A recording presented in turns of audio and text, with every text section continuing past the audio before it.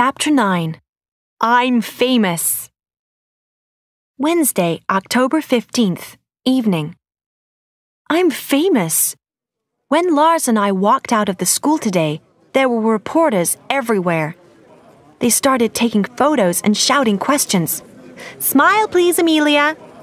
Hey, Amelia, what's it like being a princess? I was frightened, but Lars helped me. First, he told me not to say anything. Then he put his arm around me. He pushed me through the crowd of photographers and reporters. He pushed me into the back seat of Dad's car.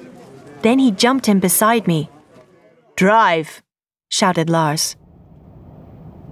I didn't know the man who was driving the car.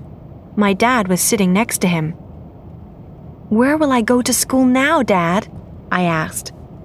You can stay at Albert Einstein High School, said my dad.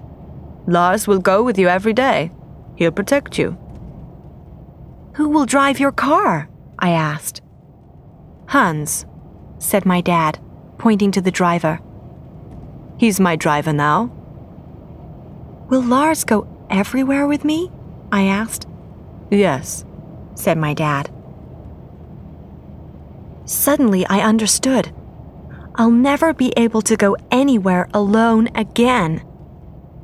I don't want to be a princess anymore, I said. You can take back your money. Tell Grandmère to go back to France. I've had enough.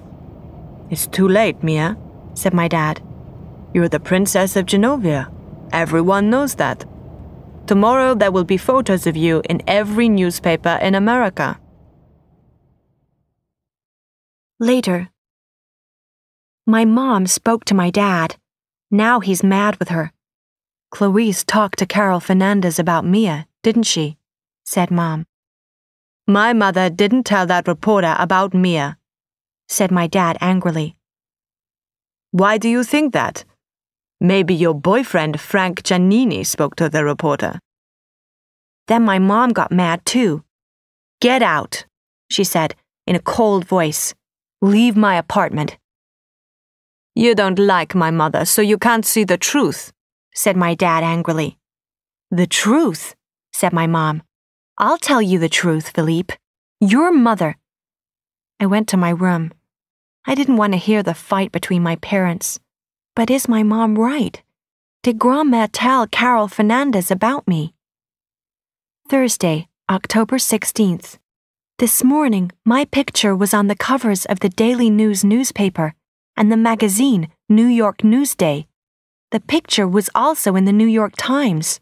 There were more reporters waiting for me outside school today. Lars held my arm and we ran into school together.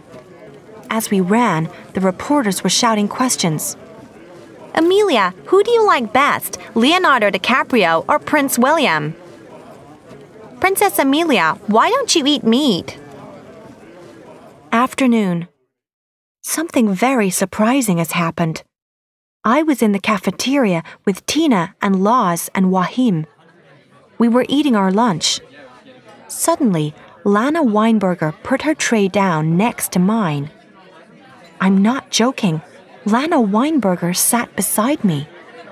Then someone else put down a tray on the table. It was Josh Richter. Hey, he said. He sat down in the seat next to me and started eating. Are you going to the school dance this weekend, Mia? asked Lana. Josh's parents are away.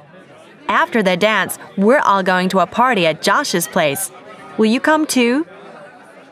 I'm sorry, I said. I can't. Lana stared at me.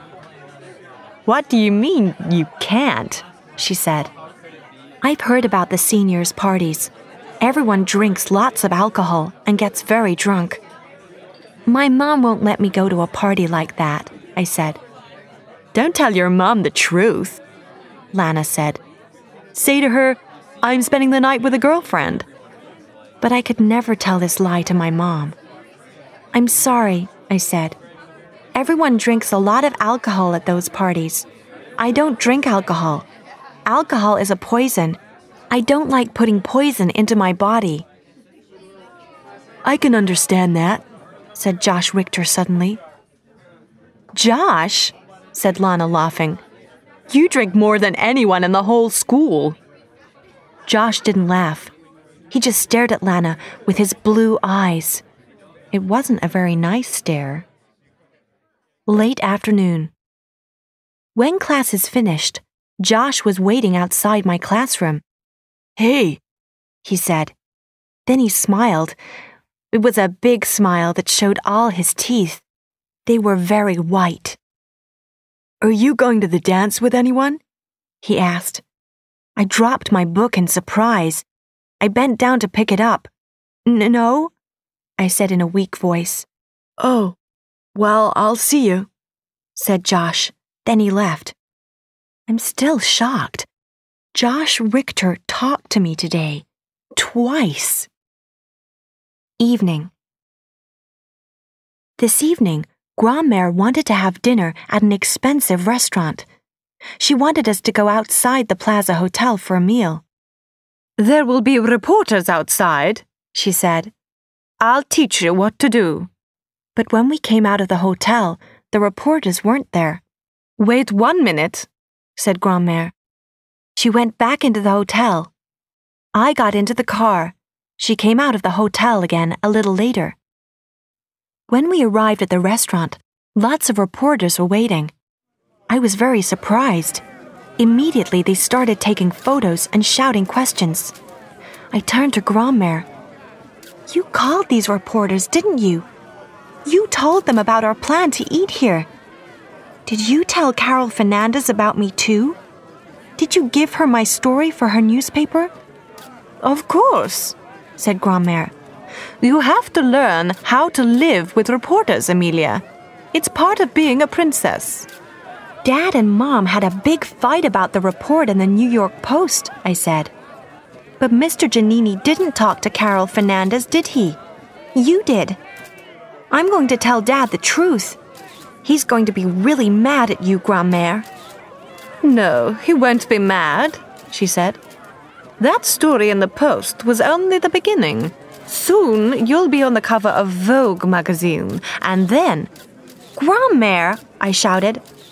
I don't want to be on the cover of Vogue. When I got home, I called my dad. Dad, Grandmère told Carol Fernandez everything about me, I said. It wasn't Mr. Gianini. I know, he said in an unhappy voice. Well, I said, you have to apologize to Mom. Later, my dad called my mom. Afterwards, she looked very happy. Maybe my dad apologized to her.